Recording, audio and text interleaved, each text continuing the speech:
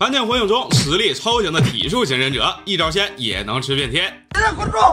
第一位紫罗，上一村体术爱好者，一个几乎不会任何忍术幻术，纯靠体术当上村里最强吓人的紫发小哥哥。紫罗的人生经历酷似隔壁班的小李同学，不同的是，紫罗在没遇到伯乐前，单靠自学就已经解锁了可以粉碎岩石的力量；而在被星探王一罗发掘后，紫罗立马官升三级，喜提旱涝保收的铁饭碗，五代目风眼旮旯的体术导师。从此，紫罗在村里的地位那是一跃千丈，一时间风头无两。紫罗的自创体术主要有两大杀招，一是无声掌法，灵感来源是猫头鹰在飞行时可以利用羽毛的震动来修出声音，而紫罗开发的掌法则可以让自己的查克拉模仿猫头鹰的羽毛，从而实现无声出招。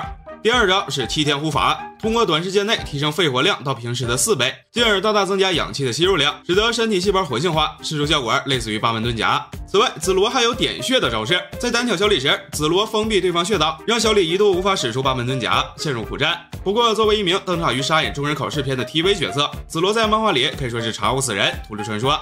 第二位陈老师，木叶龙神最后一任继承人，号称木叶村最强体术忍者。据说陈老师在第三次忍境大战时期就已经积技了，但其实这老头子跟我土哥一样，真人不但没死，而且还活蹦乱跳的呢。最有意思的是，陈老师跟土哥还有一个共同的爱好，就是都喜欢给自己上坟，主打一个重在参与。更那甚者，陈老师还专喜欢偷吃自己的供果，那是干净又卫生，节能又减排，环保意识全国领先。不过，陈老师之所以这么神道，其实也是事出有因。他也有一个不会忍术幻术的徒弟。然而，就在陈老师准备给徒弟传授木叶龙神的前夕，这徒弟就在三战的战场上嘎了。从此以后，陈老师心如死灰，自己给自己建了一座坟，主打一个装死人，从此不再传授木叶龙神。但其实这个木叶龙神吧，虽然吹的挺玄乎，后来却让小李一个表莲华就给破解了。这玩意儿的原理和龙卷风差不多，只要找到龙之眼就行。要说是不是最强吧？呃，可以参考下设定中的最强火影和最强方影。第三位体术型忍者，自带雷影老爱头。众所周知，老爱头确实是一个体术能力超强的忍者，不仅搁自己村里家喻户晓，包括在整个忍者世界都是名声显赫。铁子们别瞅这老哥性子急躁，脾气还贼暴，但是呢，人强也是真的强。坐拥云隐第一快的称号，在被称为最强肉体的老爸嗝屁超量之后，自带就继承了父亲的衣钵，当上了云隐最猛的男人。老爱头的体术不仅限于狭义的体术，而是大多属于人体术的范畴。继开启雷顿查克拉模式后施展的体术，这种模式下的老爱头雷顿附体，可以大大提升肉体体细胞的活性，进而提升攻击的速度和力量。即使是一招平平无奇的爆摔，也能摔出水平，摔出风采。我就说出这招宇智波爆摔跟谁学？的呢？总之，论速度，老爱头可以碰死忍界最快的黄色闪光；论力量，整个鹰九队在雷影面前都跟小孩一样。你说成年人谁会跟小孩动怒呢？雷影。第四位体术忍者，四代雷那子欲养而亲不待的亲爹，三代雷影老老爱头。运算历代雷影都叫矮，而历代雷影的搭档都叫比。比如三代雷影的搭档不留比，本名其实是福卡伊，纯纯为了迎合岸本爱比 A B 名改的。三代雷影二的忍术套路跟儿子走的是同一流派，也是雷顿查克拉模式的人体术，可谓力速双 A，实乃灵长类最强高中生啊，不对，实乃地表最硬人类，拥有真正的最强肉体称号。他的攻击招式地狱突刺一本贯手，被称为最强之矛。同时他的防御招式雷顿之铠又被称为最强之盾。虽说火影里的最强账号已经烂大街了，基本可以说是狗都嫌，但。但是三代雷以一敌万的战绩可不是吹吹而已，更不用说这老头曾以一己之力击败暴躁的八尾。咱们牛鬼是数次失控，而三代雷是不厌其烦，数次将其封印，属实是无愧于最强之名。就是可惜了，绘图三代雷竟被鸣人以笔之矛攻笔之盾破解了，这结果也是属实难料。第五位体术强者，木叶的万年下人海皇爹地麦特戴。在木叶最不好惹的有两种人，一种是下忍，另一种是吊车尾。而咱们阿戴双 buff 俱全，这实力不日把神仙都对不起这出场配置。不过话虽这么说，阿戴常规状态下的体术水平是真的难评，修炼八门遁甲二十年，操场跑圈竟跑不过尚未成年的大儿子。毕竟八门遁甲的威力与自身实力正相关，简言之就是本人越强，开八门就越猛，急眼了甚至可以超越无影数十倍。戴哥的常态实力基本也就是耕耕地呀、除除草、抓抓毛主子啥的，干了一辈子杂役，不想临终竟然真干了一把强者，而且还。是一打七个，麦特戴大战忍刀仙众的结果是开启八门，牺牲生命，换对方战死四个，吓跑三个，同时也下载了年纪尚小的凯皇三人组。果然，微笑可以使人强大，爱笑的男孩实力都不会太差。第六位体术强者，麦特戴的大儿子麦特凯，在承袭老爸的八门遁甲后，终于练成人类体术领域的当时最强，更是因为曾开八门，一脚踢碎二分之班，从此得名凯爹凯皇等。并被戏称为剃头凯天下无敌。不过玩笑归玩笑，纵观火影全篇，阿凯确实称得上战绩斐然。我之前做的常胜将军盘点就有凯皇一个，因为咱们凯皇除了小时候中忍考试输给卡卡西之外，后面大小战基本是未尝败绩，包括跟卡卡西的常年 PK 也是略胜一筹。当然这是他自己说的，不知是不是因为对方日渐肾虚的缘故。另外，阿凯跟其他老师还有一个不同，就是其他人基本都在小组织跟前栽过跟头，而凯皇六道七门就可以吊打大部分敌人，斗崩开八门，忍受生命，在不搞极限一换一的情况下，依然可以将忍界大部分强者拿捏于股掌之中。这实力出个任务啥的，属实是非常靠谱了。第七位体术忍者洛克里。小李的出场配置堪称绝望，他不像凯老师，人家只是不擅长忍术幻术，并不是不会，更何况还有体术天赋，七窍至少通了一窍。而小李呢，不但忍术幻术一点不会，更有甚者，这小伙子就连体术都干不过别人，这配置还玩毛啊！如果要把人的特长比作一只大木桶子的话，那小李就是活生生的一个托盘。好在小李也有属于自己的天赋，什么天赋呢？努力的天赋。咱就是说，这话说出来，我自己都不信。但本他确实是这么说的。小李他是努力的天才呀。虽然但是，如果把小李的配置放在经典武侠剧的套路里边，应该也算是骨骼惊奇，外加受名师指点，从此一点即通，走向人生巅峰。不过在火影的世界，可能对开挂方面的审核比较严格。同样是修行八门遁甲，小李从始至终都没有开到过第八门。讲话的一次开挂封号六百多级，高光是属于主角和反派和自己老师。小李这辈子只能当个绿叶。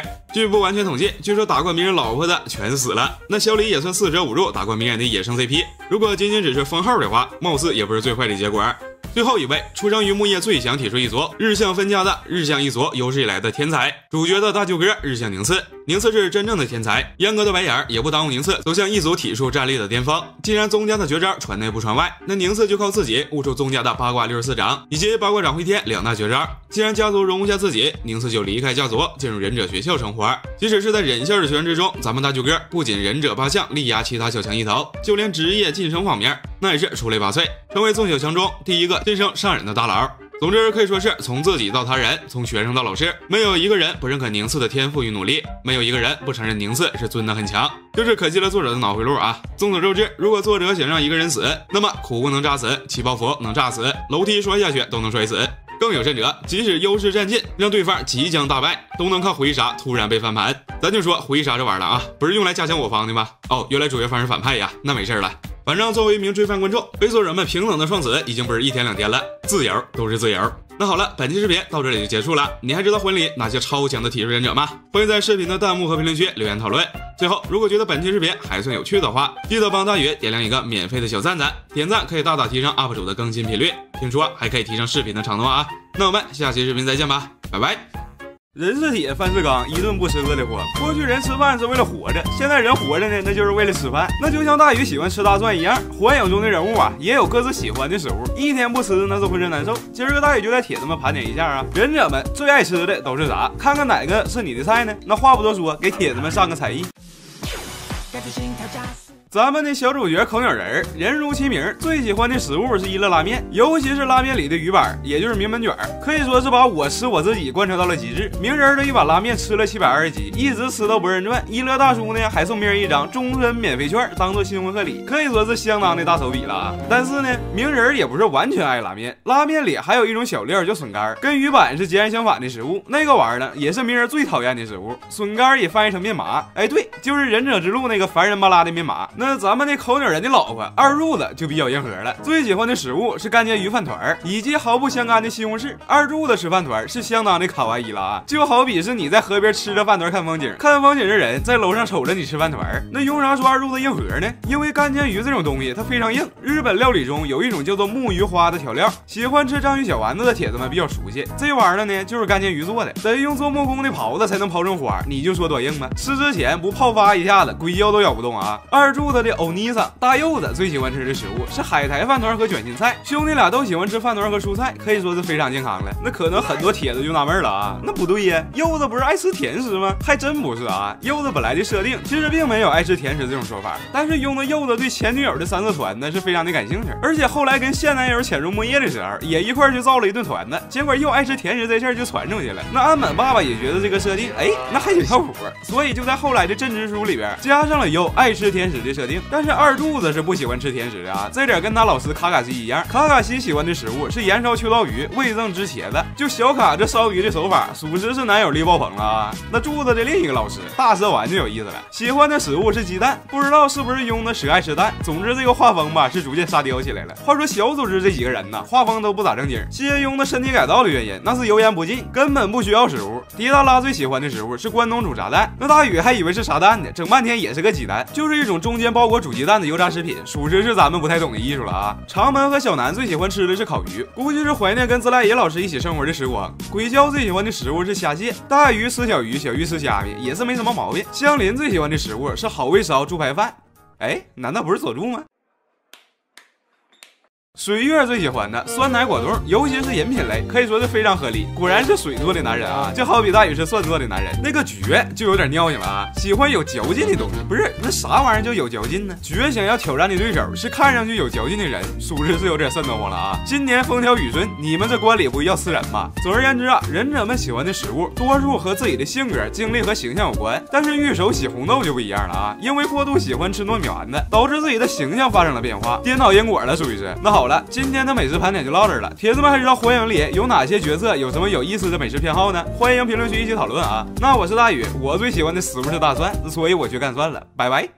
火影里居然有这么多的秘术，今天就给铁子们带来火影原著的秘术盘点。秘术顾名思义就是只传内不传外的小秘密。林真书将其定义为在特定地区传承，会由一部分拥有特定血统的人口头传承的术。在公认书收录的忍术中，秘术属于斜杠级，即因施术者特异能力所能使用的术，普通人是无法通过常规渠道习得。火影中的秘术不少，尤其以家族秘术居多。不过这并不代表秘术家的人用的全都是秘术，比如肉弹战车就是一个平平无奇的体术，而山中一族的新转身之术、新乱身之术也都不是秘术，只是普通忍术而已。诸如此类的特殊案例也有不少。本期视频以公式书定义为主，其他的一些特例，大也会在视频最后做补充说明。那接下来就跟你们唠唠原著中出现且公式书确定的秘术四十九个。全体目光向我看齐啊！远之改造，大名鼎鼎的橡胶果实。可以自由伸长自己的身体，让身体变得柔软，还可以任意旋转。这个术虽然大部分时候是大蛇丸用的，不过跟其他的蛇系忍术并没有什么直接联系，而是一种改造身体的秘术。另一名隐忍健美城也可以使用。人月心眼，通过查克拉感知半径几十公里内的移动，不光可以感知具体的人数，就连移速和动向都能感知出来。讲话的比某些导航都好使。不过这个术虽然标注为秘术，但却并不是漩涡一族的族中秘传，而是相邻的专属忍术。也正因如此，佐助把香林当成自家兄弟，上来就乐意跟香林掏心窝子。地愿鱼，龙眼的秘术，用查克拉操控体内触手战斗，这些触手用途非常广泛，既可以夺取别人心脏放到自己体内，集齐五种不同属性查克拉大搞特搞，也可以用来干一些缝缝补补的家务活，可以说是老少皆宜，童叟无欺。又说此次平血，天神教的秘传忍术效果比那个反伤甲还牛逼啊！这玩意儿是纯纯的一比一反伤，而且还是主动技，只要舔舐对方的血液，再用诅咒仪式发动就可以。不过这个术唯一有一个缺点，就是施术者也得承受同样的伤害。我估计也就不死之身的飞段能经得起这么折腾，一般人整不好啊，容易整成刺泡的。磷粉引之术，鸡尾人中力符的术，可以从嘴里吐出磷粉反射光线，用来扰乱人的视线，同时。七尾的尾巴在高速震动的情况下触碰敌人，可以直接削掉对方的一块肉，就像是被吃掉一样。水遁水镜之术，自带水影史仓的秘术，用水遁制造出的镜子反射光线，以此照射出对方的影子，同时对方的攻击也可以完全反射。这施术效果比宇智波反弹更像反弹。飞护传心，木叶情报局使用的秘术，可以穿过幻术的保护，进入他人大脑直接读取记忆，并把这些记忆自动同步到卷轴上，就跟打印机似的，都是科技与狠活。引爆粘土。从 C 一到 C 四，小到小蜘蛛，大到大小蝶，都是属于引爆粘土这个术所衍生出来的忍术。这些不同造型的手办呢，虽然功能不尽相同，但最终的目标只有一个，那就是。尽管小迪坚称自己鼓捣那玩意儿是爆盾，但其实公式书白纸黑字写的很清楚：引爆粘土这种赋予物质查克拉之术是秘术，而且是一种禁术。再说了，那后期也出现了真正的血迹线接爆盾，那小迪的谣言自然也就不攻自破了。粘土分身。附带抓取功能的分身，受到攻击后可以把对手牢牢粘住，也可以在其中混入引爆粘土继续艺术。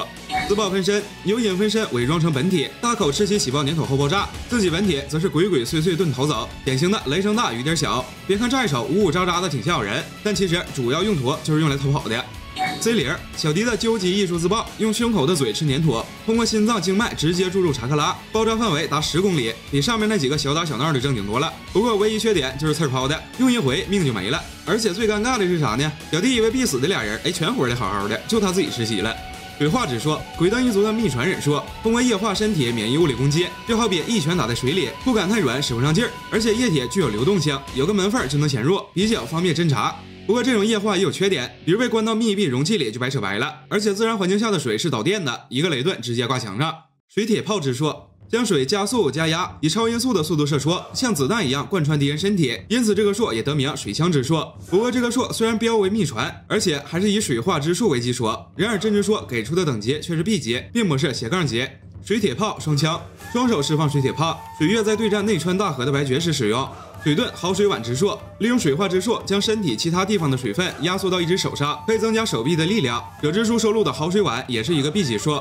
蜘蛛巢花。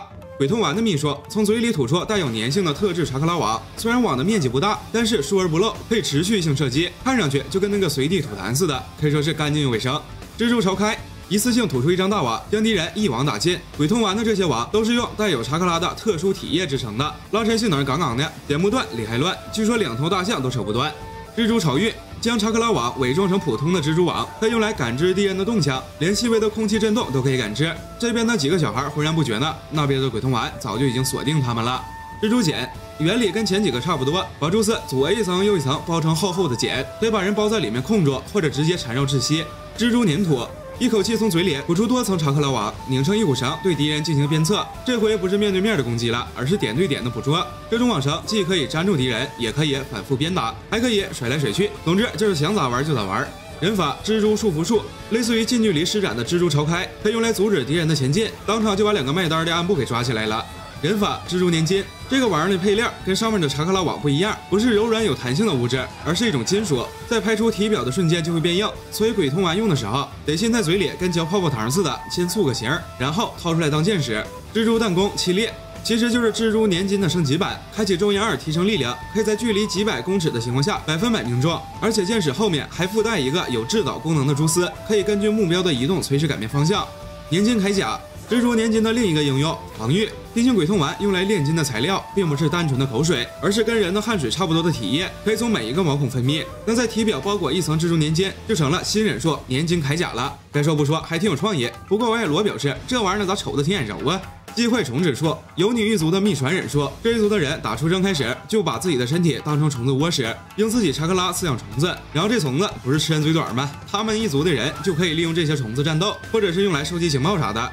龙分身指数，用成千上万的虫子变成人的形状，形成分身。这种分身有个优点，就是不需要从本体变身，甚至可以远距离预设。总之，只要是用好了，比影分身还好用。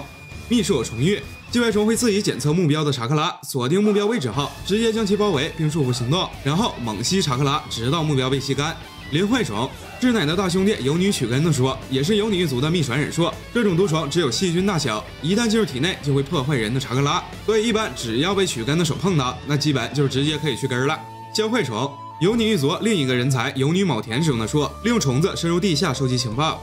鸡大虫虫蛀，相比于只吃查克拉的寄坏虫，鸡大虫的胃口更大，它们不光吃查克拉，连肉体也吃，吃完之后自身体积暴增，那给景野吓得画风都变了。红蝎民句说。将数量庞大的虫子放到空中，干扰敌人的查克拉感知，效果好比是信号干扰器。此战时，有女一族众人同时使用。影子模仿术，奈良一族的秘术，本来被发明出来是用来抓鹿角的，后来沿用成控制敌人，可以让敌人被迫和自己做相同的动作。主要缺点就是影子的面积有限，所以影子的长度也会受周围环境的影响。不过我相信鹿丸和手菊单独相处的时候，应该能挺好用的。影子九手术。基于影子模仿术进化而成的攻击手段，让本没有实体的影子拥有物理力量，可以直接对敌人进行锁脖。不过咱就是说，鹿丸你这摸的真是脖子呀！另外说一下影子束缚术，这个术在原著中出现了台词，不过公式说并没有单独的词条解释，这里就不单独列出来了。影缝术，这个是属于影子模仿术的升级版中的升级版，把影子从二维平面升级到了三维立体，直接用实体化的影子穿透敌人的身体，既可以一击必杀，也可以用来控制敌人。影子聚集术，影子行动的自由度更高，不仅可以用来束缚敌人，也可以把影子当触手用，感觉跟九都的地面鱼有点异曲同工。影手里剑之术，鹿丸基于家族的影子系忍术开发出的新术，用吸收了自己查克拉的查克拉刀命中目标的影子，不过需要注意一点，就是有个忍术跟他的名字非常像，叫手里剑影分身之术，这两个并不是同一个术。影子模仿束缚术，踩到对方影子后施展的忍术，结合了模仿术和束缚术，让施术者和目标影子重叠，进而束缚敌人。使用者奈良盐水。影怪之术，提升影子的强度，让影子变得又粗又长，和丁次的肉弹战车配合，甚至能把丁次甩来甩去。虽然这个术比较费查克拉，不过毕竟是忍界大战时期，哪还会有人缺蓝呢，是吧？背化指数，秋刀一族代代相传的秘术，可以自主变大身体，然后把四肢和脑袋都缩进去。具体像啥我就不得解释了。总之这个术需要消耗热量，所以丁次食量大如牛，而且经常在吃东西。部分背化之术，上面呢是变大整体的躯干，而下面这个是背化部分身体，一般是用来变大四肢。变大后的四肢重量更沉，当然也就更狠。还有背化之术。斗之术描述为被化之术的极致，整个身体巨大，跟座山一样，可以直接来一招泰山压顶，把人给压扁。不过高收益伴随高风险，这个术对身体的负荷也是非常大。蝶精刺模式，众所周知，猪鹿蝶里的蝶并不是精野哈，精野是猪，丁刺才是真的蝶。秋刀一族真正的大招就是化蝶，而且是在不嗑药的情况下自主化蝶。这个树需要把平时吃进去的卡路里全转化为能量，大幅提升自身能力。而且这种由查克拉实体化形成的翅膀，甚至可以在空中飞行。咱们须佐能活是大户内行啊。肉弹悠悠球，这个术其实是朱鹿蝶三人的组合忍术，由丁四的肉弹战车配合鹿丸的影怪之术，外加景野的感知传送一起用。首先要景野感知敌人的数量和位置，然后将信息传给鹿丸，之后鹿丸用影子操控开启肉弹战车的钉刺，直接对敌人进行横扫。话虽这么说呀，不过肉弹战车这个术本身其实并不是家族秘术，而是一个普通体术，感知传送。用肢体或查克拉触碰队友，可以将自己通过感知忍术获取的情报无限同步给队友，比语言沟通方便多了，直接省去一万字，光写个略就行。真心转换傀儡之术，操控带有符咒的傀儡对目标发起攻击，当目标反击时会陷入符咒的陷阱，与傀儡交换意识，结果就是施术者的意识进入目标身体，目标的意识进入到傀儡身体，傀儡的意识进入施术者身体。不过这个说和山中一族一贯的身心转换类忍术一样，如果施术者操控目标的身体自残的话，本体也会承受相同的伤害，所以其实限制还是比较大的。其实山中一族的忍术有很多，比如心转身之术、心乱身之术，还有 TV 的心转分身之术等等。然而这些术都没有被公认说定义为秘术，而是普通忍术，所以这里呢就暂且视为常规忍术。牙转牙。犬种一族和上面的山中一样，存在很多没有被收编为秘术的家族忍术，比如牙使用的牙通牙、牙狼牙，这些都被公认说归类常规体术。双头狼也只是个常规忍术，其中的牙通牙甚至只有 C 级。不过后期出现的牙转牙，终于被收录为秘传体术，由施术者和人犬一起旋转攻击，宛如锐利的獠牙一般。三头狼非常迷惑哈，双头狼不是秘术，三头狼就是秘术了，这是怎么个意思呢？量变产生质变了呗？其实原理上只不过是多了一个影分身而已。牙牙转牙。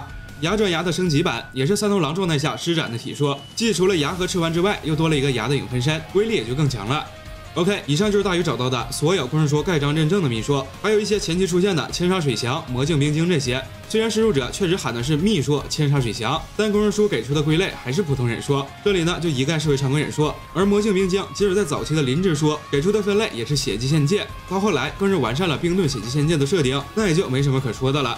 最后是早期绘图版初代使用的木盾，不光人家喊的是木盾秘术，光日书给的分类也是秘传，只不过后面疾风传把木盾改成了血祭仙剑，所以这里也被视为血祭仙剑了。毕竟秘术这种东西，并不是随便说说就算数的，要不然那木叶也秘传，体术奥义千年杀岂不是也是一个秘术了？好了，本期视频就到这里，感谢各位铁子能看到这儿。觉得大宇本期视频够气的话，千万不要忘了给大宇的视频点赞、收藏、点赞、收藏，动动小手关注一波。那我是大宇，我们下期视频再见吧，拜拜。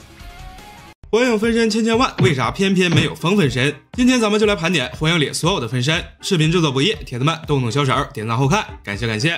首先第一个就是分身术，忍者学校毕业考试的科目，学习难度只有一级。分身术属于没有实体的分身，本质上只是一种幻影，只能用来扰乱敌人视线，那是一点攻击力都没得，所以也只是广泛用于火影前期。毕竟后期干架没点木盾分身呢，多层影分身啥的，那是压根拿不出手啊。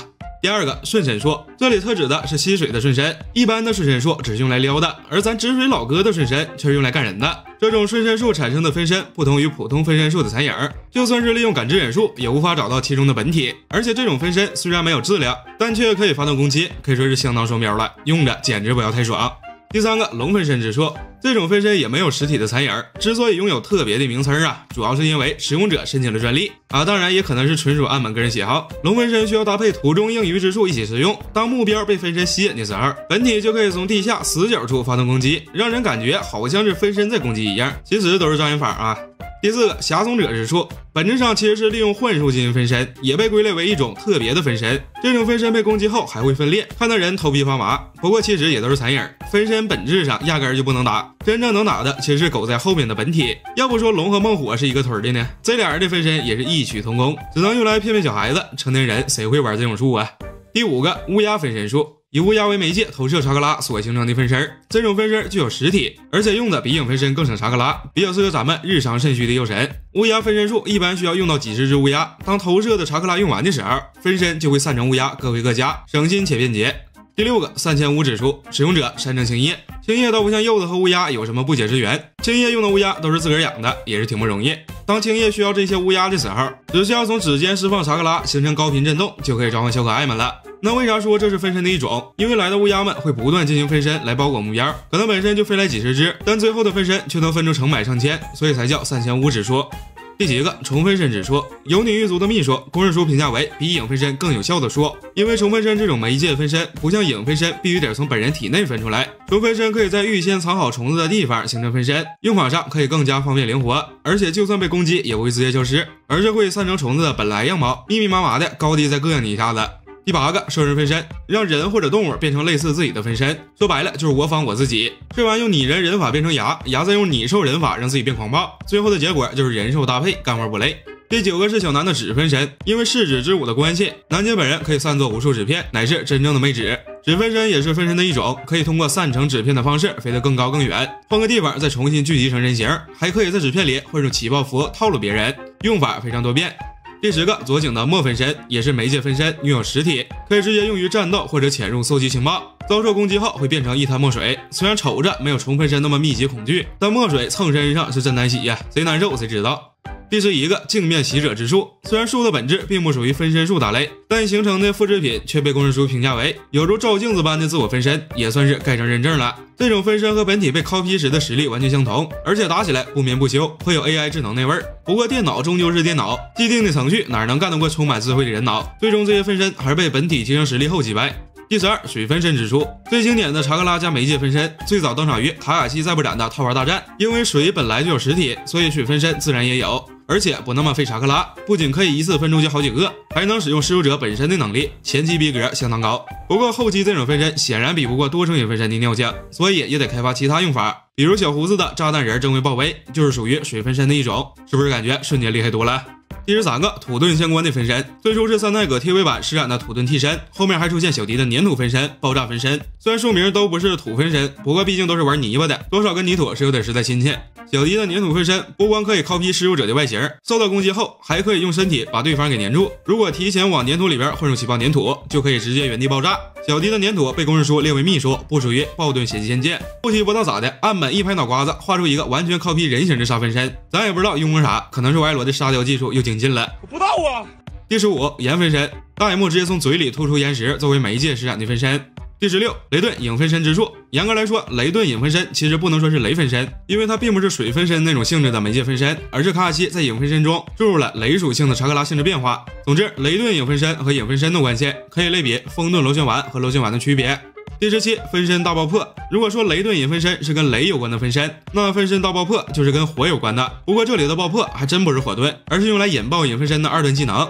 不过不管咋说，水火雷土这四个属性多少都跟分身术沾点亲带点故，只有风遁那是跟分身术八竿子打不着。其实这也可以理解，毕竟雷和火虽然没有实体，但至少肉眼可见，而风则是完全没有形体的东西，看不见摸不着，那就一个玄乎。咱就说小时候美术课画风，咱也不是拿两根破树枝子代替了，所以设定上没有风分身这种东西也是合理。如果真的有风分身，铁子们能想出具体长啥样吗？可以评论区一起唠唠。第十八木分身，木分身是用查克拉让细胞变质制造的分身，说是植入细胞有丝分裂也是没啥毛病。木分身不仅具有实体，而且比影分身还耐操，一般程度的攻击并不会导致其现出原形，不愧是血祭仙界的力量，嘎嘎好用。后期绘图班施展的分身被公认书收录为新词条多重木盾分身，属于木分身的应用版。第十九影分身，影分身属于查克拉分身，不需要媒介，可以凭空施展，拥有实体，可以用于战斗和侦查。当影分身受到攻击或查克拉不足时，影分身自动解除。其他时候，施术者也可以手动解除。解除后，影分身的疼痛和记忆都会传回本体。由于影分身会均分施术者查克拉，所以就算是小眼珠也无法看穿。第二十，多重影分身。影分身本身只是个 B 级忍术，学习难度为上忍等级，并不是禁术。而多重影分身就不一样了，学习难度上升至 A 级，并且由于查克拉消耗过大，常人使用可能敌人没咋地，自己先 GG，所以才被初代列为禁术，丢到封印之书里吃灰去了。第二十一，手里剑影分身，让丢出的手里剑进行影分身，由此就可以一传十，十传百，最终变出上千个手里剑来进行攻击。虽然被分身的目标并不是人，不过也属于分身的一种。二十二，章鱼脚分身术，让八尾的一只章鱼脚变成看似本体的分身，因为确实是自己身体的一部分，所以也是小眼珠子都无法看穿的分身。那给佐助骗的，裤衩都让人骗没了。二十三，阔鱼大分裂。其实像二代图养的分裂之术，公式书曾有明确表示，因为是本体一分为二，因此并不是分身，而是被叫做分裂体。而阔鱼大分裂虽然也是本体分裂出来的无数小丸了，但却被称为是分身。二十四，轮木变玉。轮木这个术已经进入到了时空间的领域，因为轮木分身其实是本体存在于其他世界的影子，不过这种影子依然被称为影子分身，不仅几乎拥有本体同等的能力，而且常人根本无法察觉。面对这种分身，六道以下的对手只能说如临大敌。除了这些，还有一些形似分身却没有明确定义的东西，比如之前提到的无的分裂体之术形成的分裂体，佩恩的相转之术形成的同一体，幻灯身之术形成的幻影，白绝的孢子之术假扮之术，以及增幅通灵术形成的增值体等，这些术或增值或分裂，都形成了形似分身的东西，但本质上却并不是分身。铁子们还知道哪些形似分身的东西吗？评论区一起唠唠。最后，感谢铁子们对本期视频的支持和收看，喜欢大鱼记得点赞、收藏、关注一波，我们下期视频再见，拜拜。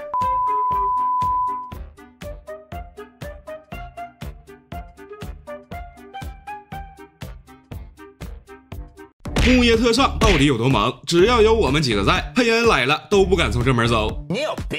第一个，山城青叶，青叶属于木叶的情报部门，特长是侦查和情报类的工作。山城青叶擅长操控乌鸦，因为这些乌鸦都是他自个儿养的。他还可以控制查克拉进入别人的头脑读取记忆，实力在特别上瘾之中也是非常强的，甚至一度被不少帖子戏称为山城青药。青叶的散千物之术可以干扰对方的视线，以此来辅助队友的攻击。他和队友病足雷同的配合，更是号称无人可以逃脱的一击。青叶还可以使用秘术，他的秘术时针是将两个绑着苦无的查克拉线扎进对方的身体，并通过将自己的查克拉传送到对方的身体，以此呢来控制对方的行动。不过青叶在对战鬼鲛时吃瘪了，这波属于是什么呢？属于是正中下怀啊！我们娇娇是不会跟你客气的。第二个，病足雷同，脸上有大疤了的暗杀高手，擅长使用一种带有剧毒的黑刃太刀，特长是暗杀之术。虽然战力牛的一批啊，但其实本人性格憨厚耿直，是深得火影的信赖。病足雷同是山城青叶经常搭档的队友，曾任四代火影水门护卫队的成员。不过成员里并没有山城青叶，另外的两个人分别是不知火玄间和中忍蝶衣瓦西，其中玄间是队长，所以这个队伍也叫玄间小队。三人可以合力施展飞雷阵之术，自战时期就是用这个术将水影送至前线战场，跟其他人可以说是脚前脚后。第三个不知火玄间，嘴里常年叼个牙签，可以说是干净又卫生啊。其实这个牙签啊是用来攻击的千本，这个千本呢其实也是玄间的武器。玄间从小就喜欢叼这玩意儿了。不知火玄间和卡卡西、带土这些人同届，夏忍时期曾和凯分在一班，还跟惠比寿一起见识了麦特戴极限四杀的名场面，也算是从小见过世面的人。长大后的玄间曾任中忍考试考官，还和好基友并足雷同一起对上过隐忍四人众，结果不出一回合就让人给秒了。玄间擅长的忍术是千本羽和飞雷阵之术。千本羽是先吐出嘴里的千本，再用忍术分出多个千本一起攻击。飞雷阵之术则是三位一体的三人组合忍术，由玄间小队三人一同施展。第四个惠比寿，惠比寿的特长呃是闷骚好色啊，血条特别长。不对啊，惠比寿是擅长教学的特别上人，实力方面要说比上那肯定是不足的，但对付区区下忍呢，还是手拿把攥。惠比寿在动画里用过火遁、分身术和影分身，一套操作纵享丝滑。惠比寿以前还是木叶丸的专属家庭教师，信奉精英教育，经常对木叶丸说：“跟我学习是成为火影的唯一途径。”然而被鸣人教过做人以后啊，惠比寿就顿悟了，后来成了忍者学校的老师。惠比寿的实力算不上太强，毕竟术业有专攻嘛。惠比寿主要是书本知识玩的溜，不过真遇到危险的时候，惠比寿的觉悟还是很高的，真汉子啊！那讲话，毕竟木叶特上是卧虎藏龙，强者更是一个更比一个猛。第五个，三奶一鼻血，一鼻血是木叶考文部队长，满脸横肉，一瞅就不是善茬。曾担任中忍考试第一场的考官，给鸣人和当时的我都留下了深刻的心理阴影啊。一鼻血的特长和兴趣就是拷问，他能够进入对方的内心，操控对方的精神，被人称为虐待狂。但其实一鼻血的正面战斗能力也不弱，早年曾率木叶暗部围堵雾眼的二号部，给我焦哥都逼到跳崖了。这战绩啊，够吹一辈子。后来佩恩入侵时，伊比喜曾和佩恩正面对敌，用拷问窝拿下女畜生道。只可惜尸体不吃捆绑 play 这一套啊！伊比喜一套操作猛如虎，哎，细看战绩零杠五。第六个月光积分，擅长使用木叶流剑术三日月之舞是所有特上里最有名的，主要是因为跟疾风传出名了哈，只不过人没活到而已。疾风比其他特上年龄都要小，领盒饭时才二十三岁，虽然一脸黑眼圈，看着感觉很虚，但很多时候有黑眼圈的都是隐藏大佬。谁能想到这疾风是真的来也匆匆去也匆匆啊，竟然让马街一个风之刃就给送走了。疾风还有个恋人卯月夕颜，是木叶的一名暗部，后来忍界大战时对上秽土疾风，却迟迟下不去手，最后疾风故意撞。上夕颜的刀，把自己给送走了。第七个，玉手洗红豆，大蛇丸的弟子喜提大蛇丸天之咒印，然而却并没有什么卵用，只能通过咒印的疼痛感知大蛇丸的接近。红豆擅长使用大蛇丸的蛇系忍术，包括潜影蛇手、禁术双蛇相杀。中忍考试时，红豆作为第二场考试的考官出现，略微变态的属性让我还以为呀这角色有多强，结果三下五除二就让大蛇丸给调戏了，这报应来的还真是快呀。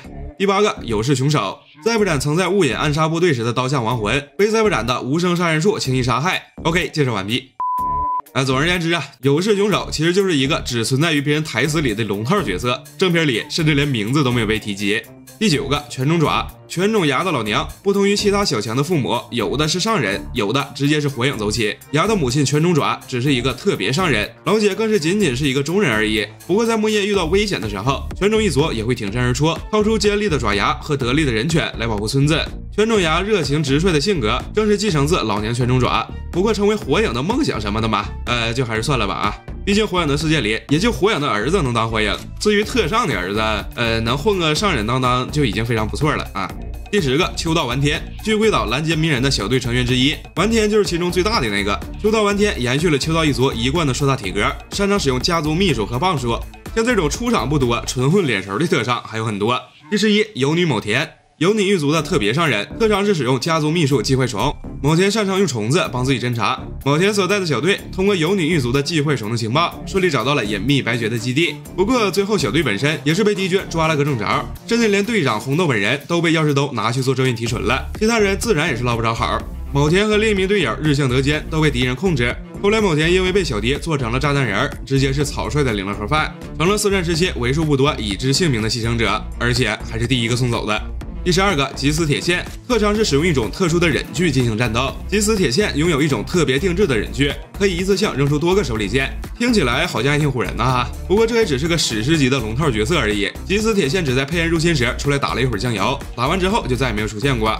第十三，鸟刺鹰将负责照顾和训练人鸟的特别上人，这哥们的特长是能够解开封印和解析暗号。就在木叶被佩恩袭击摧毁后不久，云野的使者萨姆伊等人出使木叶。然而这几个大美女呀，前脚刚刚携雷影书信抵达咱们鸟刺鹰将所在的部门，后脚就接到了紧急召开无影会谈的书信。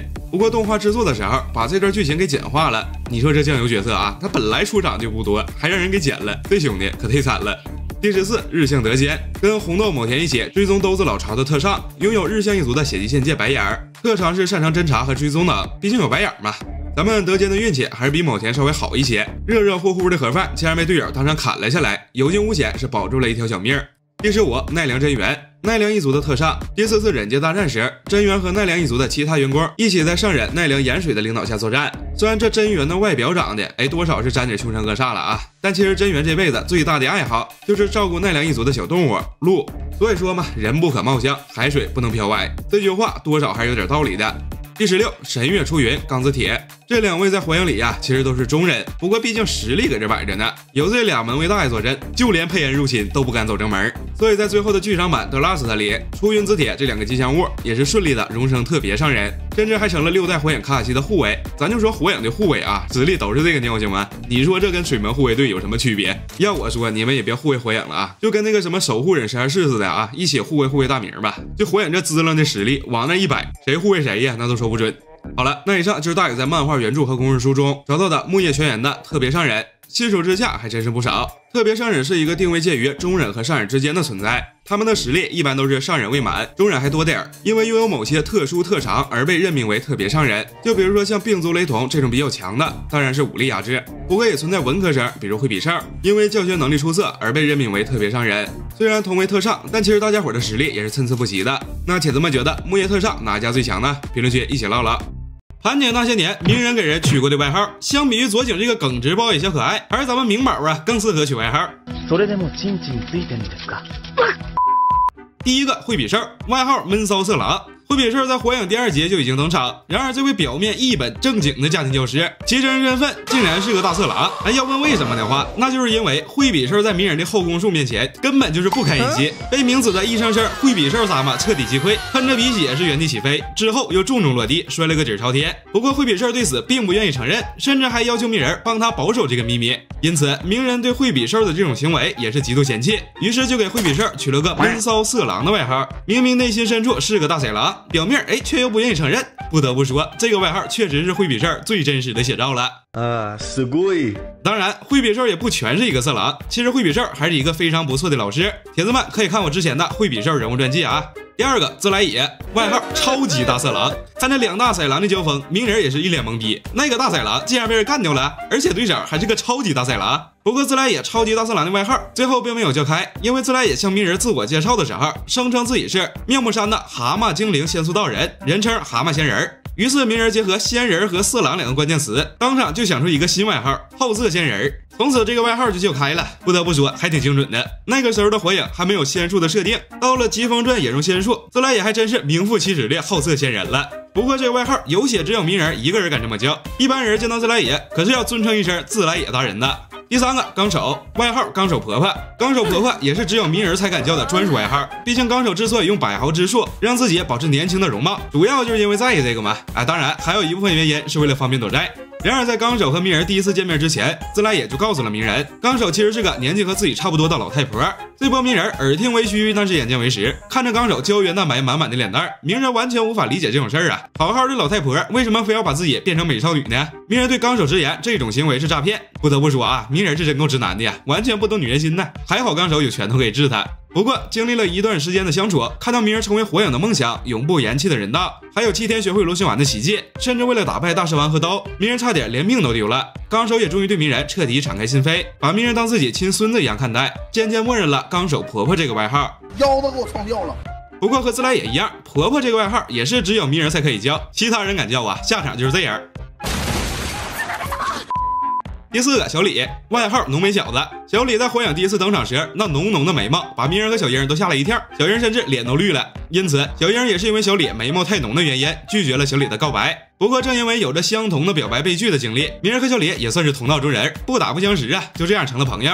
鸣人给小李的外号非常坦白，就是浓眉小子，也是非常符合小李的外形特征。除了浓眉小子，小李身上还有很多的外号和梗，比如绿皮怪、西瓜头、青春小子等等。不过，小李身上之所以集齐这么多奇怪的属性，说到底还是要归功另一个人，那就是浓眉小子的老师，超级浓眉。第五个阿凯，外号粗眉毛老师。鸣人见过小李的眉毛，已经是震惊不已，没想到世界上竟然有这个地方这么粗的人。然而当见过阿凯以后，鸣人的世界观终于彻底崩塌了，这才是真正的浓眉，好吧？在凯老师面前，小李也只不过是一个未经世事的小孩子罢了。不过由于不同时期的翻译问题，阿凯时而被叫做粗眉毛老师，时而被叫做鸡眉老师，也有时被叫做浓眉老师。总之呢，都是那个地方很粗的意思。好在鸣人并没有见过阿凯不粗的地方，否则给阿凯起个新外号什么的，估计凯老师这辈子呀都抬不起头了。你们每个人都不懂我。第六个佐助，外号面瘫。这个外号也是火影前期的时候，鸣人给佐助取的专属昵称。因为佐助不管什么时候都是一副面无表情的冷面孔，可能这就是传说中的喜怒不形于色吧。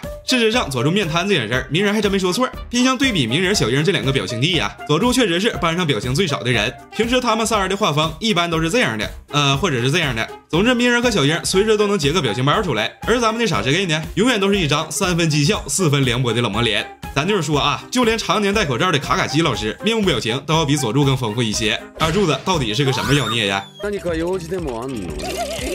呃，当我没说啊。靠！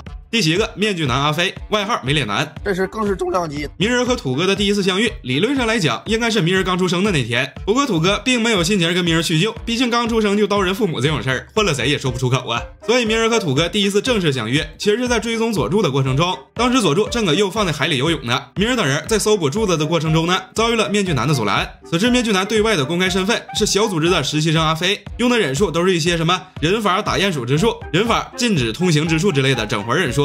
不过阿飞毕竟只是带土穿在身上的白绝外套，而土哥本人呢手握神威，实力在当时可以说是深不可测。小小几招四两拨千斤，仅凭自己一人就给鸣人等人全都防住啊，全都防住去了啊！而鸣人也是毫不客气，因为土哥戴着面具不露脸，鸣人直接给土哥起了个外号“没脸男”。咱都说打人不打脸，骂人不揭短，说我土哥没有脸，这可真是太伤人了啊！毁容这件事简直是一生之痛啊，猪间细胞都治不好的那种。第八个绝，外号芦荟。和我土哥一起出场的，还有咱们小组织的盆栽蕨，其实是黑蕨和白蕨两个玩意呢合在一起形成的一种动物不动物、植物不植物的新玩意儿了。因为蕨可以潜入地下，所以主要职务是担任小组织的情报员。当蕨从树枝上窜出来的时候，鸣人也是吓了一跳。一个戴面具的没脸男就已经够奇怪的了，没想到又出现了一个更奇怪的。想想不久前刚遇到过的心脏收集癖，也不知道这小组织里呀到底都是些什么妖魔鬼怪。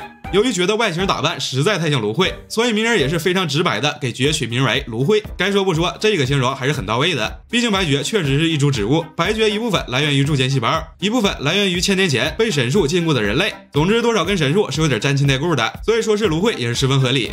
第九个辉夜，外号兔子大妈。鸣人不愧是意外性 number one 的忍者，就连面对最后的 boss 辉夜，鸣人也不忘给人取一个朗朗上口的外号。毕竟大土木辉夜叫起来确实有点绕嘴，还是取个顺嘴的昵称，这样的话组安起来也更方便一些。鸣人这个外号倒也不是随便取的，因为辉夜曾在战斗途中变身兔子的形状，看起来就像是用一乐的面团捏成了兔子。外加辉夜岁数太大，当鸣人的祖太奶都绰绰有余，更何况辉夜本来就是阿修罗的亲奶，所以鸣人给辉夜取个外号叫兔子大妈也是合情合理，甚至呢还有点可爱。另外，辉夜的 CV 小山梦美在配过兔子大妈后不久，也是接任了隔壁剧组真正的大妈配音，这波可以说是梦幻联动了。第十个黑绝。外号会说话的便便，鸣人给黑白双绝取的外号芦荟，多少还沾点生物的气息。然而给黑绝单独取的外号，属实是伤害性不高，侮辱性极强了。因为黑绝长得就像是一坨稀泥，而且还是个会说话的怪物，所以鸣人给黑绝取了个外号叫会说话的便便。这个形容也是非常贴切，毕竟黑绝本身就是灰液排出的不明液体，说好听点叫灰液的意志，说白了不就是灰液的排泄物吗？而且还是从灰液袖头子甩下去的，谁知道是不是春球子之类的埋汰玩了？说是一坨便便，那是一点毛病也没有，而且还是小消化不太好的那种。最后，辉夜被明佐两人封印在月球上，黑绝甚至还要遁地逃走，结果被鸣人一份叉子就给摁那儿了，反手就跟辉夜一起封印到了月球上。这波辉夜的妈宝大孝子黑绝呀，总算是和亲妈团团圆圆，结局可以说是皆大欢喜，可以一起换线了。类似这种被鸣人取过外号的忍者还有很多，在取外号这件事上，佐井还真应该跟鸣人好好学一学。铁子们还知道鸣人给哪些人取过外号呢？评论区一起唠唠。最后看到这里的铁子，也不要忘了给大鱼点赞、收藏、收藏、点赞。听说点赞可以提升 UP 主的更新频率啊，要不要试一下呢？点赞关注，双击，双击。自古以来，热血番的主角都是热血吊车尾，而那些出生就已经身在罗马的天才型选手，却往往只能成为一个配角，成为主角成功之路上的陪跑。不过饶是如此啊，这些配角依然为忍界的和平贡献了自己的力量。今天咱们就来聊一聊木叶十大天才忍者，看看谁是你心中的 number one 呢？视频制作不易，铁子们记得点赞点赞，忙点赞呐！首先第一个平平无奇的发明创造小天才大蛇丸。不靠血缘，纯靠科学，成为赫赫有名的木叶三人，甚至还差点靠着过硬的关系当上四代目火影。咱们的这位大蛇姨呀，一直都是火影里走位最风骚的存在。大蛇丸幼年经历父母的去世，渐渐产生了对永生的向往，这种执念大大改变了大蛇丸的心性，让大蛇丸逐渐开始剑走偏锋。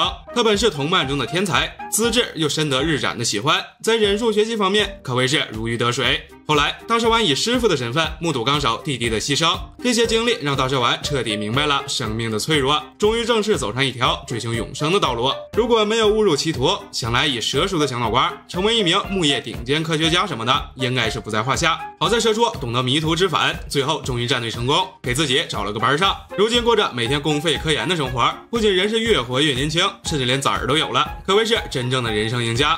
第二位人见人爱的忍术开发小天才吉木卡卡西，小小年纪自创 A 级忍术千鸟，在同龄人之中根本就是格格不入。卡卡西五岁从忍者学校毕业，六岁晋升中忍，十二岁升上忍的履历，想必放到任何年代都是相当炸裂的存在。俗话说，不怕天才起点高，就怕天才比你还努力。而卡卡西就是这样一个天赋与努力并存的选手，甚至比很多的普通人还要努力。卡卡西虽然天资过人，但为人性情却非常温和。小时候就愿意和热血绿皮怪交朋友，对自己的两个小伙伴也是非常友善。如果不是父亲突然去世，卡卡西也不会过早堕入黑暗。卡卡西的千鸟一直是后来佐助的招牌忍术，而当卡卡西失去写轮眼后，又重新创造了属于自己的新术紫电。咱就说这才能啊，确实无愧于六代目火影的名号。虽然一度被称为最弱火影，但卡卡西他娘的真是个天才。第三位一直活在传闻中的天才忍者，卡卡西的老爸齐木硕茂。硕茂的翻译还有齐木左云、齐木左九茂等，不过并没有齐木白牙这种叫法，因为白牙只是那把短刀的名字，而硕茂本人则是被称为木叶白牙。那么硕茂的实力究竟有多强呢？据说传说中的木叶三忍都要让他三分。硕茂是一名真正的天才忍者。铁子们知道蝎的父母正是死于白牙之手，且看蝎全家老小实力没一个吃素的，就知道他爸妈也绝逼不是什么善茬，能手刃这种程度的敌人，可见白牙的实力并非浪得虚名。不过很可惜，这样的天才却在众人的唾骂中结束了自己的生命，可见人言竟是如此可畏。火影里的第四位天才，人设近乎完美的平民天才，四代目火影波风水门。水门能有多厉害呢？就连主角鸣人都得管他叫一声爸爸，这待遇可没几个人能享受啊！而且水门并不是单方面的武力值爆表，人撩妹水平也是教科书级，可以说是软实力、硬实力样样优秀，简直是三百六十度无死角的完美人设。这小伙儿，你说谁丑了能不迷糊吗？不过水门之所以能学会飞雷神这么 bug 的忍术，想来和门师傅打小就快的属性脱不开干系，再加上比较不错的感知能力，让水门可以靠飞雷神一招先吃遍天，成为忍界著名的黄色闪光。虽然一没血统，二没外挂，但水门却靠着聪明的头脑和过人的天赋，在忍界过五关斩六将，一跃成为可以胜任火影之职的超级强者，而且还是历任火影中为数不多没有家族背书的一个。第五位是咱们同样年纪轻轻就立于忍界巅峰，结果却惨遭暗算自尽的宇智波小红眼一族的天才宇智波止水。止水虽然拥有宇智波一族的优秀血统，但性格却温和的不像宇智波人。他小小年纪就已经晋升上人，万花筒能力又是可以改写别人意志的强力幻术别天神，这天赋简直强到爆表，好吧？但止水唯一的弱点就是太过善良，他想用自己的眼睛帮助村子阻止政变，却怎么也没有想到啊，村里的高层才是他真正的敌人。本藏因为觊觎止水的眼睛，用伊邪那岐实施暗算，最终止水只能选择以一种最不名誉的方式守护住宇智波一族的名誉。止水的死不仅延缓了宇智波一族的政变，更催生了另一双万花筒血流眼的诞生。一代天才陨落，但天才的接力还在延续。第六位就是大名鼎鼎的天才右神。宇智波鼬的早慧程度堪称变态级，这人要是放在现在呀，估计一般的幼儿园都受不了了。毕竟三四岁就开始思考生命的意义，七岁时就已经有了火影式的思维，这种智商基本可以直接保送清美了。当然，事实也是如此。鼬刚上忍者学校没多久，就因为课程太过无聊，自己弄个影分身替课。本体呢，则是跑小树林里去找止水哥哥练手里剑去了。要知道啊，忍者学校的毕业考试考的不过是一个一级的分身术，而鼬用的却是拥有实体的影分身，这是上人等级的忍术。难怪傅叶总夸他，不愧是我的儿子。朱坚也称赞又是一个比我还要优秀的忍者。就连全忍界最骄傲、最最硬的班爷，在会斗转生解除的一刻，都忍不住夸赞：看来你们那边也有优秀的人呐。火影里的第七位天才，同样是出自宇智波一族的人才——傲娇小斑斑。宇智波斑并不是一个早慧型的天才，有的人六七岁开显轮眼，有的人七岁时像火影一样思考，而斑这个年纪还在往河里尿尿玩。虽然出生于战乱时代，但斑和柱间两人却在这乱世获得了一份珍贵的友情。直到友情破碎的时刻，班终于开启了写轮眼。从此以后，班的实力晋升的脚步就再也没有停下过。写轮眼、万花筒写轮眼、永恒的万花筒写轮眼，这实力晋升速度就好像是开了倍速播放。只可惜，不管班变得多强，这世上总有一个人压他一头。班都已经天才到把须佐能乎和九尾套在一起开高达了，真是说啥也没想到，朱坚还能掏出更大的高达，这游戏简直没法玩了。第八位天才依然是出自小红眼一族，那就是宇智波最后的独苗佐助。佐助的天赋非常优秀，在忍者学校的成绩一直都是不折不扣的第一名。而且佐助并不是那种纯粹的天生就已经远超常人的天才，而是一个真正努力的天才。天才是百分之一的灵感加上百分之九十九的汗水。用佐助自己的话说：“我可是拼了命去做的，不要用天才这种字眼抹杀了我的努力。”作为同龄人中的天才，佐助最大的困扰就是自己的哥哥比自己还要天才，父亲总是用赞许的目光看大哥，却很少把目光放到自己的身上。或许有一个过于优秀的兄弟也是一种烦恼吧。第九位天才是被称为日向一族有史以来的天才的大舅哥日向宁次，这位更是重量级。明明生于日向分家，却拥有比宗家更为优秀的资质。明明用的是被阉割的白眼，却能自己领悟宗家传内不传外的绝招回天。甚至在动画里，宁次还把八卦六十四掌开发到一百二十八掌。这天赋真的绝了啊！事实上，宁次从小就已经表现出远超常人的资质，练习时和大人对打也是丝毫不落下风，更不用说欺负比他小的雏田，简直就跟逗你玩一样简单。只是可惜，宁次的命运不能说天妒英才吧，但宁次分家的身份却成了禁锢一生的牢笼。直到死去的一刻，宁次才真正摆脱笼中之鸟的束缚，拥有可以自由翱翔天际的灵魂。虽然作为十二小强中唯一领盒饭的一个，宁次的结局就和他的命运一样令人唏嘘。但我只希望宁次来世不要生在日向家，更不要成为日向一族的分家，最好是远离这操蛋的忍者世界，作为一个普通人过完平凡的一生。第十位天才是火影里一直被渲染天才的，真正 IQ 高达二百的天才奈良鹿丸。不知道是不是因为血统遗传的关系，鹿丸和他父亲、儿子这三代人都很聪明。他老爸鹿角一直培养鹿丸智商、情商双方面的才能，如何广交朋友，如何面对女孩，鹿角都是鹿丸的第一个老师。而且鹿丸的天赋也确实对得起老爸的期待，小小年纪成为同届生中第一个晋升中忍的考生，而且还在考试中直接内定了一个老婆回家。这波鹿丸真的赢麻了。后面不论是作为队长执行追回佐助的任务，还是带领第十班首任小组织的角度飞段，这些战斗中都充分体现了鹿丸的智谋。能够成为七代目的左膀右臂，鹿丸靠的可不是身份和关系，而是切切实实的天赋与能力。铁子们还知道火影里哪些天赋异禀的小天才呢？评论区一起唠唠。那本期视频就到这里，感谢看到这里的铁子们，千万不要忘了给大鱼点亮一个大拇哥，助力 UP 主疯狂爆肝啊！我的每一次日更都有你们点赞的助力。最后长按点赞可以投喂两个原定小东西，咱们下期视频再见，拜拜。体术是火影一大特色，无需结印，也非必须调取查克拉，修行下限较低，理论上人人可用。但作为能与忍混并列三大系统的体术，真正能够将其修炼到极致的人却是寥寥无几。本期大宇统计出火影原著全部体术八十三个，整理共分上下两期。上期主要介绍木叶绿皮与白内障家族相关的体术，共计是二十一加八，二十九个。视频制作不易，还是劳烦各位观众老爷点赞收藏，多多支持。那么闲话不多说，咱们这就发车。首先是绿皮相关的体术二十一个，影武一。表莲华等高端体术的起手式属于辅助型体术，施术者的身体仿佛空中飞舞的树叶影子一样，会贴紧对手的身体进行追踪。不过小李第一次给小鸡班展示完影武一，并没有顺利使出下一招表莲华，而是被凯老师的踏板挡了下来。小李第一次成功展示莲华是在死亡森林对战六道托斯，表莲华。先用踢击将目标踢至半空，随后用影武叶进行追踪，再用绷带给目标捆成一个木乃伊，最后双手抱住目标，高速旋转的同时高速下落，造成一个伤敌一千自损八百的使术效果。由于这种术对自己也会造成伤害，所以被列为了禁术。而且林真说也标明这是一个超高等级体术，但不知道用啥还是标注成了 B 级。李莲华。前期小李的终极武器需要正式开启八门遁甲，解除身体限制后才可以施展。使用李莲华时的小李，速度和力量都用到八门遁甲而获得巨幅提升，就连当时的逼王五爱罗都看呆了，包括现场观战的老师同学们也都看傻了。基本能开眼的都得开眼看，不能开眼的则表示全程看了个寂寞，因为压根找不着小李人在哪里。招孔雀。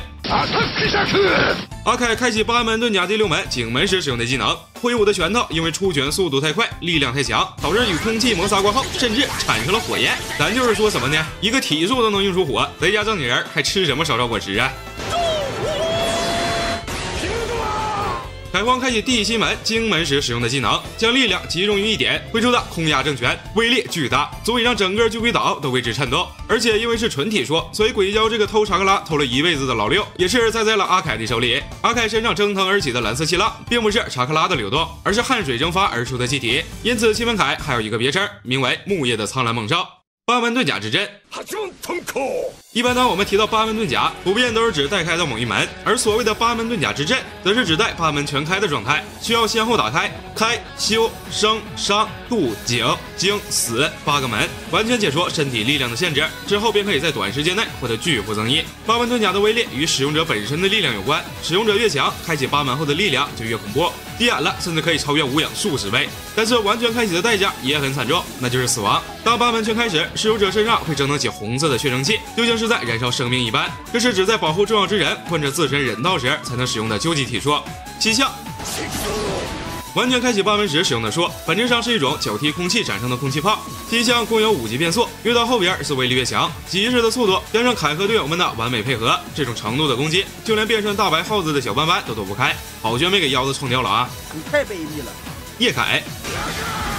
继西向之后，专属于阿凯的独门绝招，是一种经过注牌后使用的踢击，因其过快的速度和过强的威力，致使周围的空间都被扭曲，这已经完全颠覆常人对于体术的认知。在叶凯面前，那小笨班兴奋的啊，跟个抖 M 一样。咱就是说，哪有人劫后余生还能笑得这么开心的呀？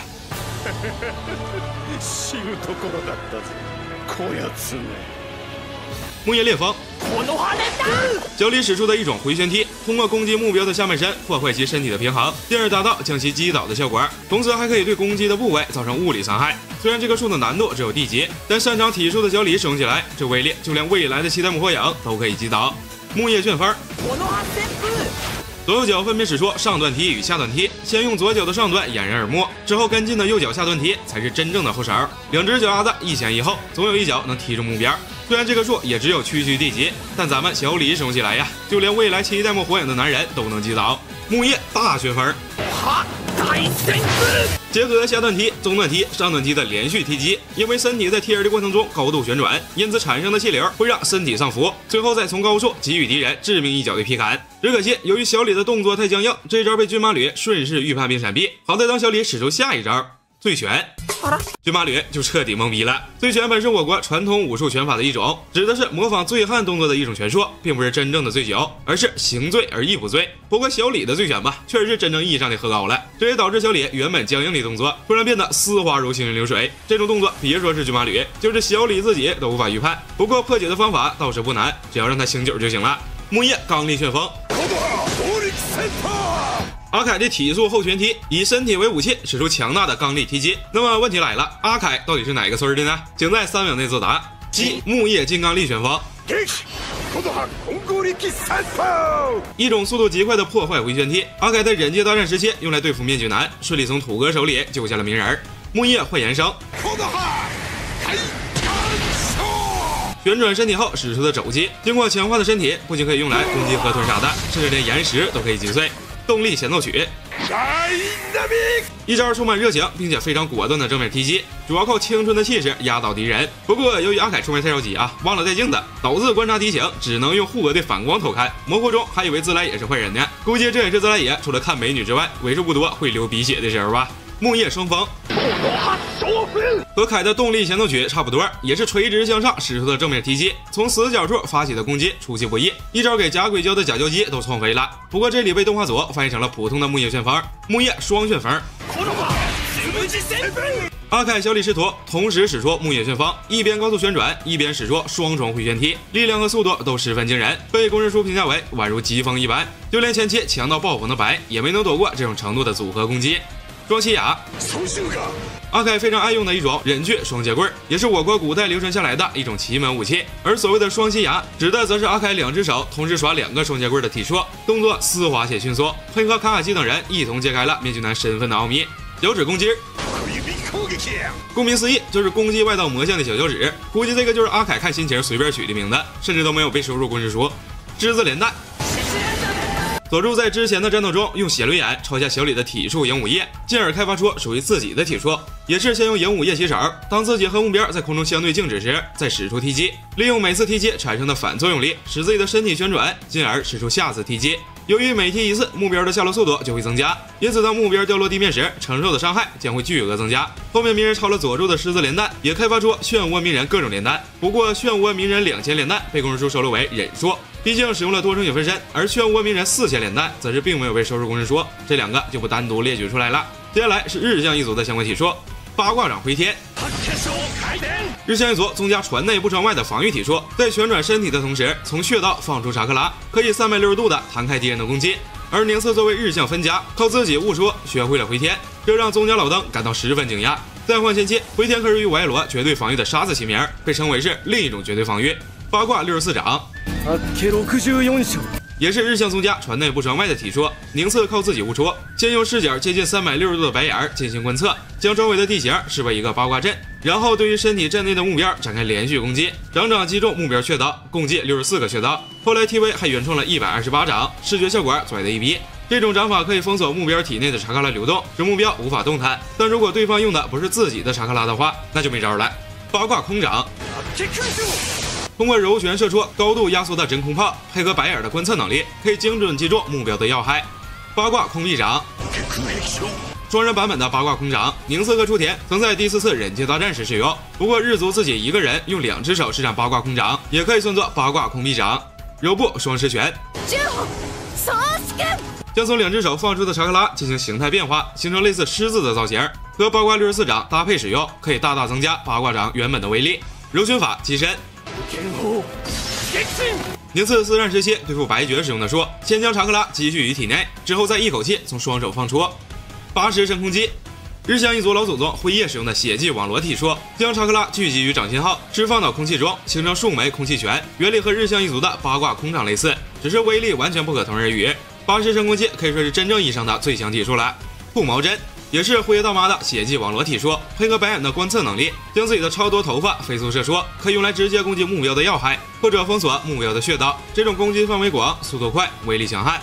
OK，以上就是本期体硕盘点上篇的内容，感谢各位铁子支持与收看，下篇正在紧急爆肝之中。这种类型的视频做起来真的很费力，希望铁子们看完可以帮大宇点一个小小的点赞呐！如果能长按点赞，投喂两个元气东西，大宇真的会激动的睡不着啊！半夜起来都会继续疯狂剪视频的。那咱们下期视频不见不散，拜拜。